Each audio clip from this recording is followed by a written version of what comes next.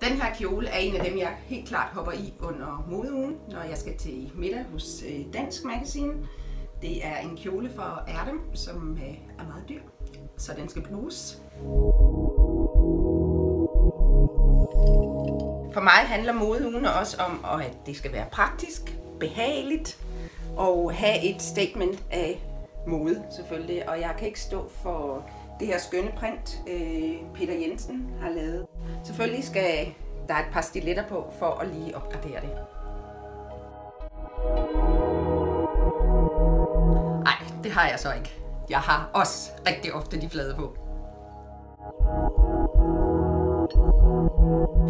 Jamen, så vil jeg helt klart hoppe i sådan et par helt klassiske tjørtsko. De går til hvad som helst.